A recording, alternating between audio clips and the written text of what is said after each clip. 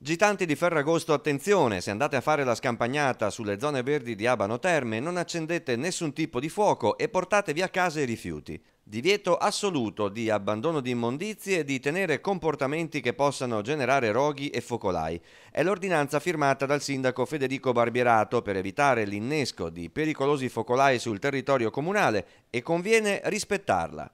La multa massima per questa ordinanza va fino a 2.000 euro che comprende proprio il divieto di sparare razzi liberamente venduti e, e il divieto di abbandono di rifiuti e comunque il divieto di accensione di qualsiasi tipo di fuoco soprattutto nell'area eh, vicina al Parco Colli che è ricompresa nel territorio di Abano Terme. L'ordinanza, spiega il sindaco, è stata sollecitata dalla Regione a tutti i comuni del Parco Colli.